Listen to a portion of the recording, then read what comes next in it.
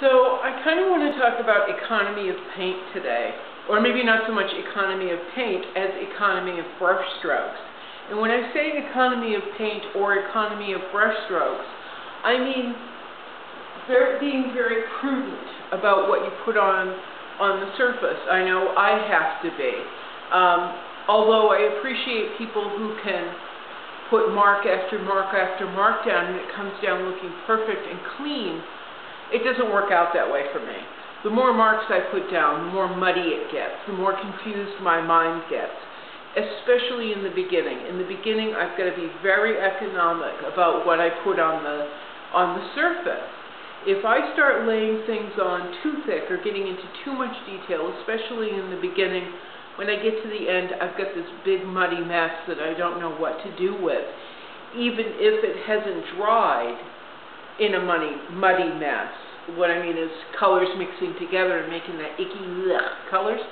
Um, because I've, you know, been working in wet paint. If even if that hasn't happened, for me, a muddy mess can be just too many things, too much noise, too many colors, too many brush strokes going on, especially at the beginning. It gets very confusing. When I first started painting, and first started drawing, um, I used to think, I'd get stuck on this one thing, and I think I have to make this one particular thing perfect, or I'm never going to get the rest of the, the painting or the drawing or the etching or the print or whatever I was working on to come out correctly. And that was really wrong-headed. But no one ever said, it's okay to ignore this one little thing that isn't right think about the whole. In, when I was growing up, I was taught that you have to get it right, you have to get the whole thing right the first time. And it's taken me most of my life to learn it's okay. The world isn't going to end if this one little thing isn't perfect. So you can actually look at the whole picture and get the whole picture to work and to be balanced rather than work on this tiny little thing and make yourself crazy over it. So here I am with this painting I've been making myself crazy over, this little, this little painting. And I actually got into making a muddied mess for myself by last Friday. So I wiped it down and I started all over again. Now the, the reference material for this piece says there has to be a lot of lights and darks, and there has to be shadows, and there has to be has to be's. Well, one of the rules in painting is that there are no rules. There does not have to be a hundred marks there on that painting, at least for me. There does not have to be an exactness. There does not have to be sharp, you know, light and sun rays and, and beams and little fur bits sticking out of her hat.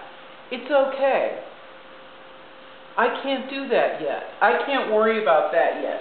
What I have to worry about is the overall painting and finding the balance in the overall painting. So I've gone through making the background black, making it translucent uh, earth red, uh, earth Translucent Earth Red, using Gamblin Paints, Translucent Earth Red, and Neo Megilp, which is still down there, still on there. But I've also gone through red and a really bright purple and then a dark purple, wiped it all down, and I really stayed with the translucent, Gamblin Paints Translucent, Translucent Earth Red. And a mixture of two different types of violet. I think a manganese, um, yeah, if anybody can read that, that's one of the purples I've used. Uh, a manganese, I believe, and then, where are my glasses? Ah. A, a Utrecht violet. Quina, I, I don't know how to pronounce this. It's Q-U-I-N-A-C-R-I-D-O-N-E violet. All I know is I like it, I buy it.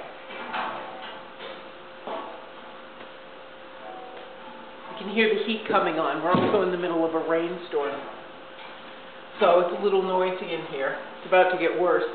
But, um, Anyway, I've decided to stick with those two violets, those two purples, add a little bit of white, and fill in the background that way, as opposed to doing each, doing each little ray of sunshine. Wait a minute.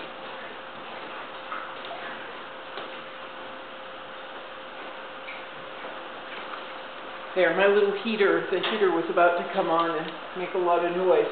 But as opposed to doing each little, each little drop of light hitting it.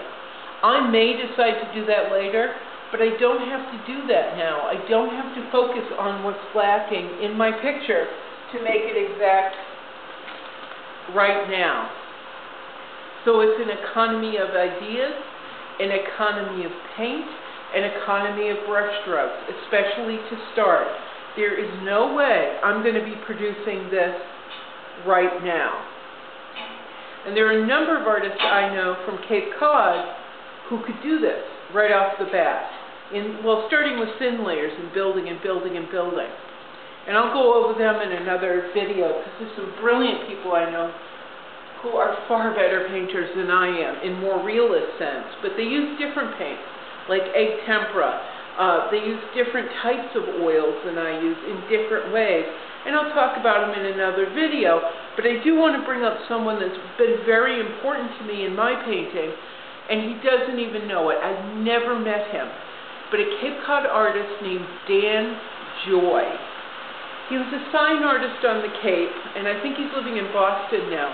But he was a sign artist on Cape Cod and in this one little town called Orleans. Now, Cape Cod is shaped like this. It's shaped like an arm, and there's a little bit that sticks out here called Monomoy, and there's a bit that sticks out here called Falmouth.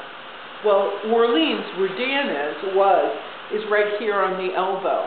And this one little town was packed with Dan Joy signs, and I think it still is. And my favorite restaurant, which just got bought by some real turdball people, um, called the Atrium, and underneath was another restaurant that I used to go to, was filled with Dan Joy artwork. His artwork was sumptuous.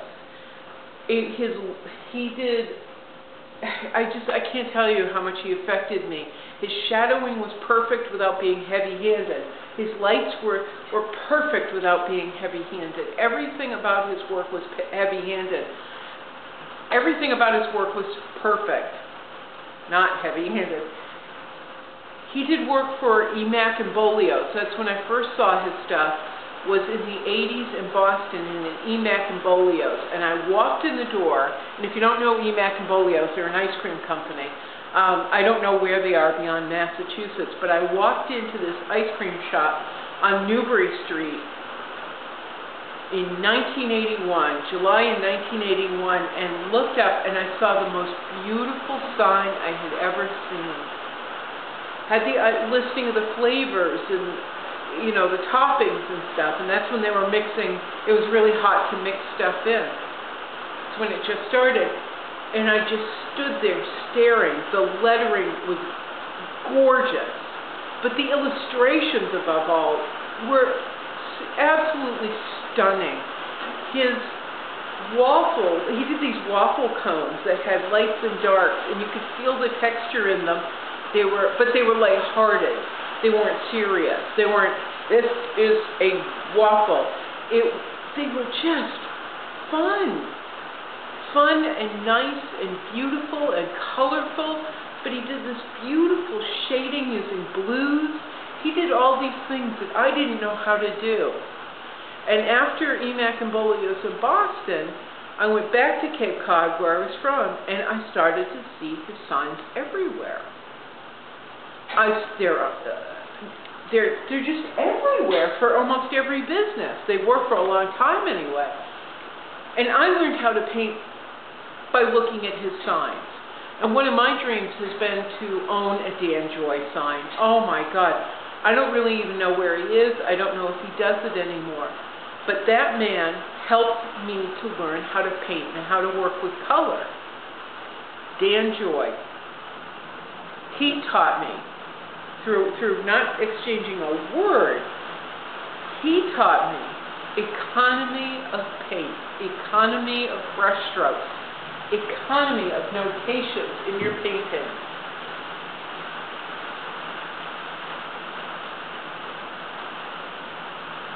He gave me a lot of courage, and he doesn't even know it. He gave me the courage to use purple instead of blacks and browns in my background. How amazing is that? Someone I've never met.